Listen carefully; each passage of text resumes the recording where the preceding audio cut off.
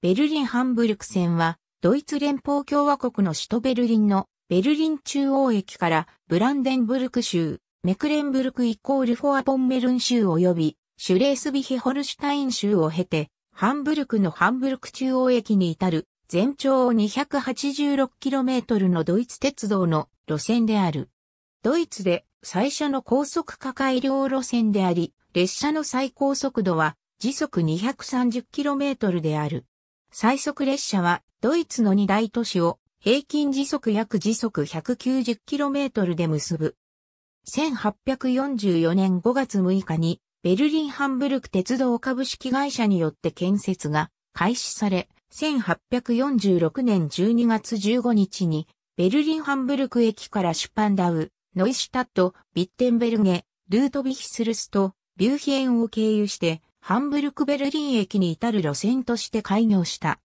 1850年当時のベルリンハンブルク駅ベルリンにおけるハンブルク駅とレール停駅の位置関係ドイツ連邦の内自由ハンザ都市ハンブルク、デンマーク国王によって統治される二つの公爵領、メクレンブルクシュベリーン、プロイセン王国を経由する路線として計画された。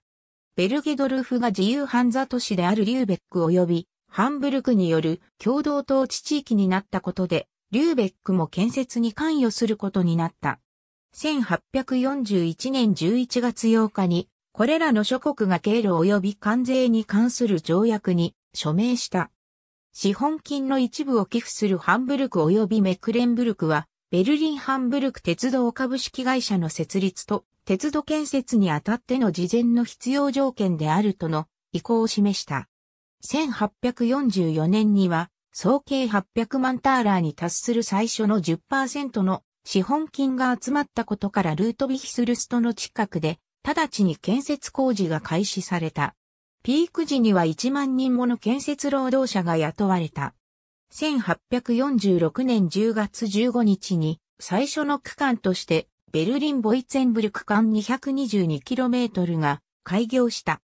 ハンブルク・ベルゲドルフ間は旅客輸送は1842年5月16日、貨物輸送は同年12月28日に開始された。1846年12月15日には、ボイツェンブルク・ベルゲドルフ間が完成して全線開業した。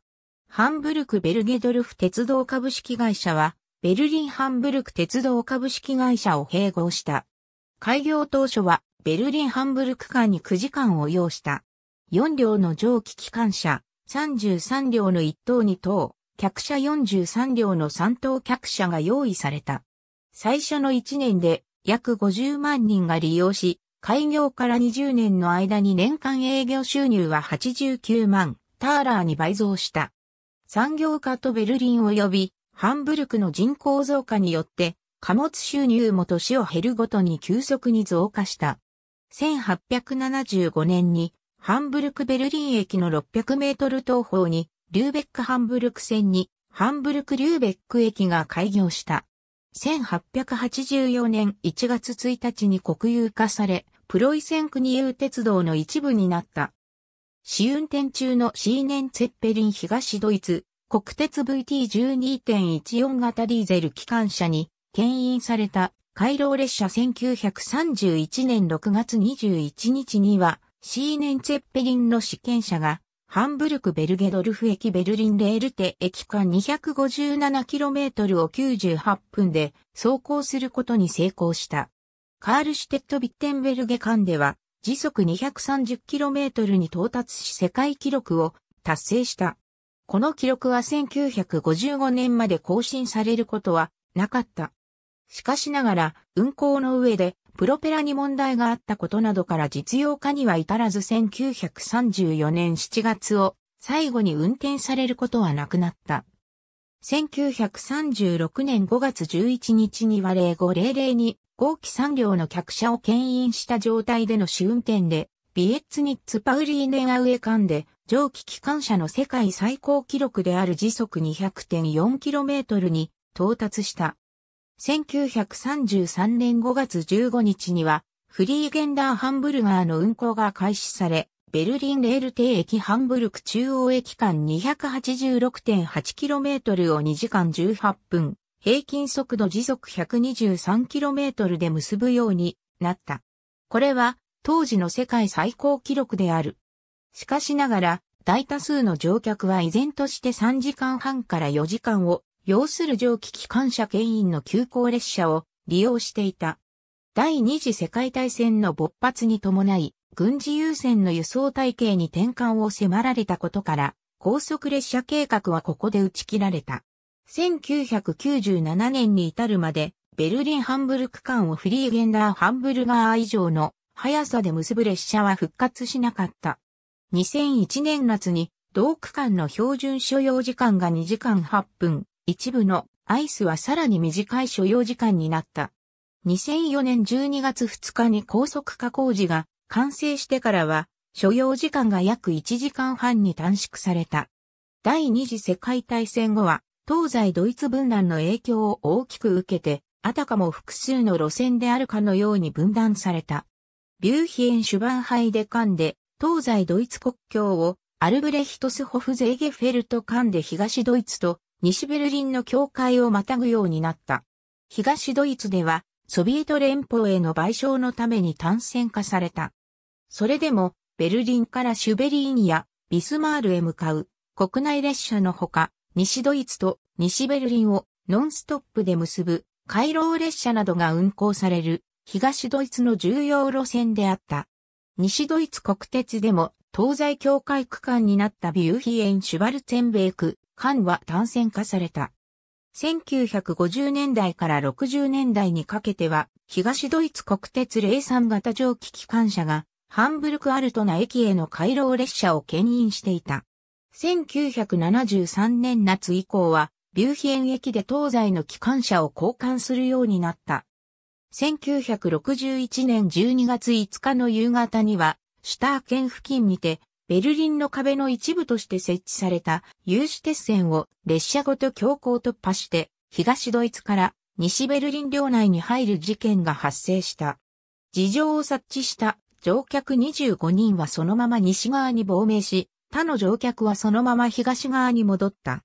当時はベルリンの壁がまだ完全には強化されておらず、東ドイツ領内から西ベルリンに入る線路が残されていたためである。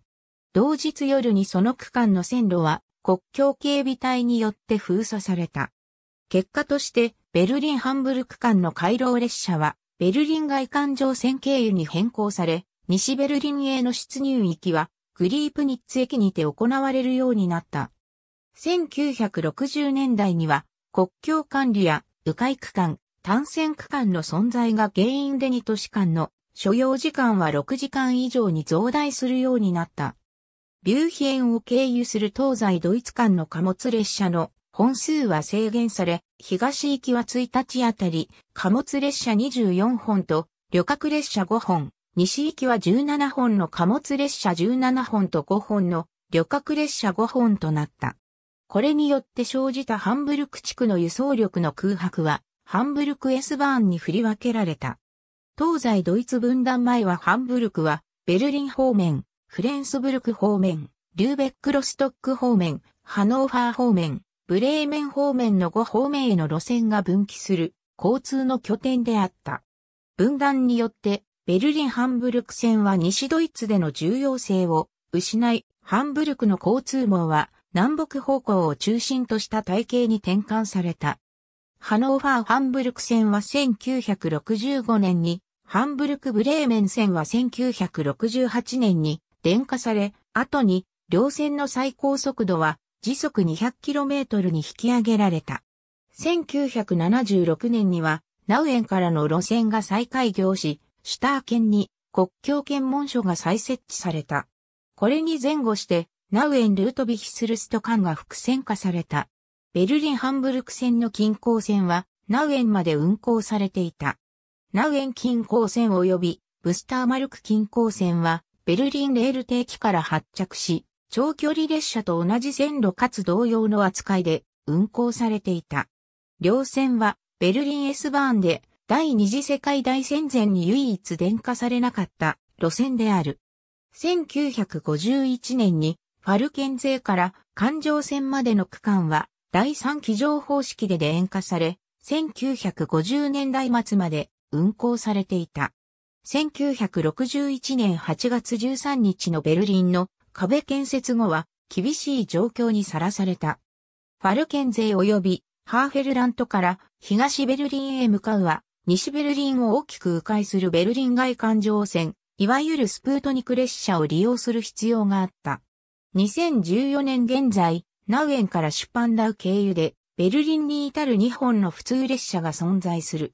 RB10 系統は、元々のナウエン近郊線の経路で運行されており、ユングフェルンハイデ経由で、ベルリン中央駅に至る。RB14 系統は、ベルリン市街線を経由して、ベルリン市街を横断し、ベルリンシェーネフェルト空港に至る。ベルリン・ハンブルク線の長距離列車が減少したことから、ハンブルク側では S バーンが整備された。1959年にベルゲドルフ駅までの区間が、1969年にはアウミューレまでの区間が直流 750V 第3機乗方式で電化された。1967年にハンブルク運輸連合が設立されるとこの区間は S2 号線と名付けられた。ベルリンの壁崩壊後の1990年8月1日に、マックス・リー・バーマン号が運行開始され、かつては T に用いられていた DB601 型機動車によって牽引された。しかしながら9月28日で運行を終了し、その後は東ドイツ国鉄132型ディーゼル、機関車及び西ドイツ国鉄の T、IC 用客車が使用された。1991年には1日4往復、翌92年には2時間おきに運行されるようになった。これによって、ベルリン・ハンブルク間の所要時間が約4時間に短縮された。1990年代初頭に、ドイツ政府はベルリン・ハンブルク間に磁気浮上式鉄道を建設する計画を打ち出した。ベルリン・ハンブルク線の改良については次の2つの案が考案された。一つ目は、ベルゲドルフシュパンダウ間の新線である。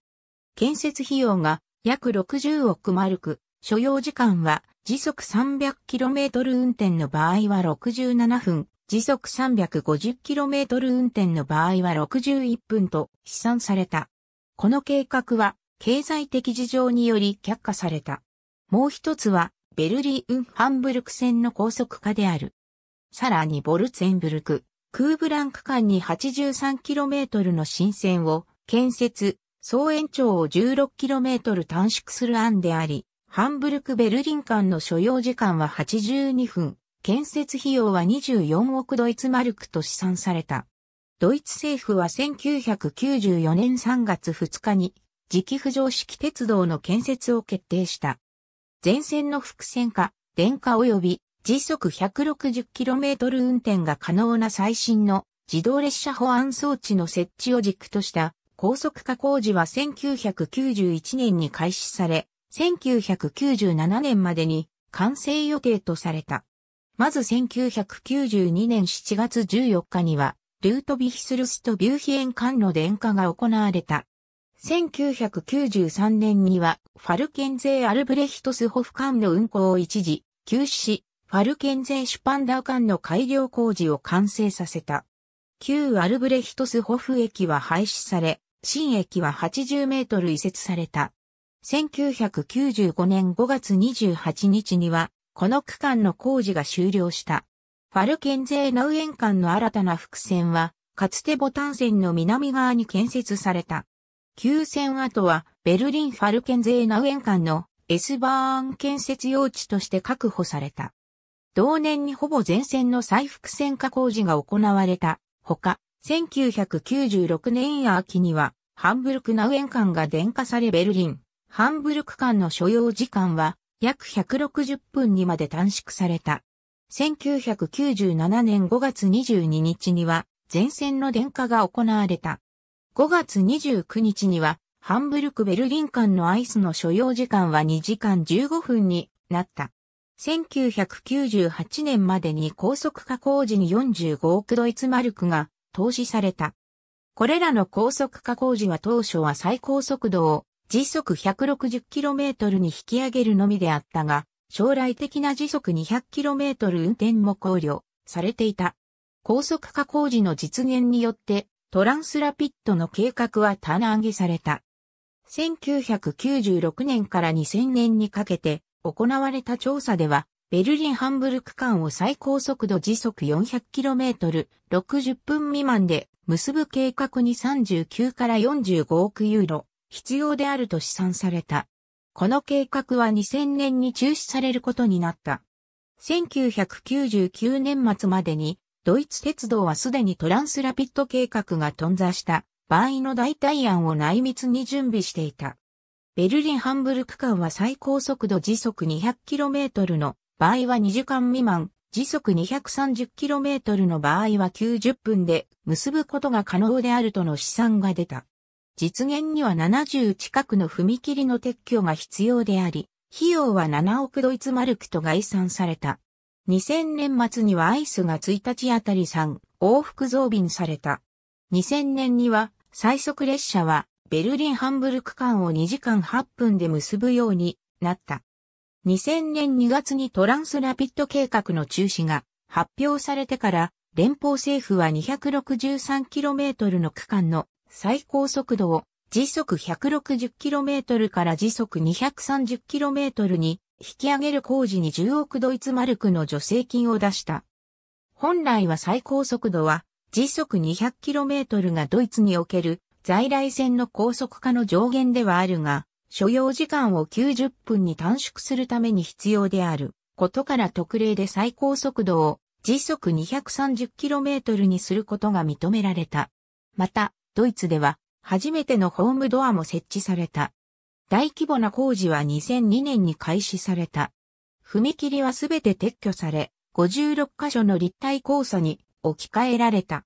ドイツの高速路線に設置が義務付けられている LZB が設置され、さらに162カ所の分岐器が交換された。これらの工事は2003年夏に11週間もの間運休させて行われた。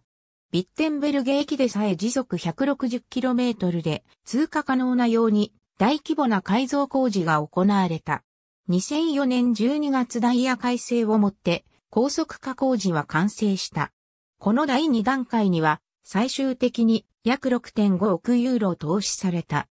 アイスの運行が開始された1997年には1日あたり約6000人であったが、2007年5月には1日あたり約1万人であり、10年間で大幅に増加した。